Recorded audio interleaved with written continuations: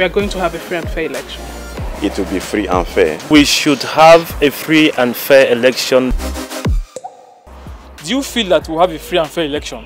I believe we're going to have a free and fair election. The masses are more oriented concerning election. The BVAS machine will give us a credible one. It is a good sign that is we are going digital, which will solve a lot of malpractices, we solve a lot of excesses.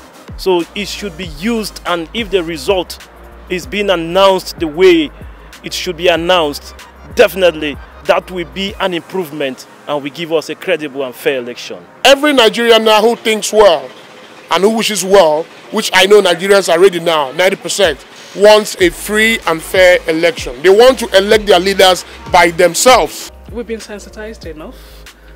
A lot of information has gone out and unlike other times, we've even reached the grassroots. I see a lot of people, a lot of organizations, foundations go around to sensitize people on the need to cooperate for a free and fair election.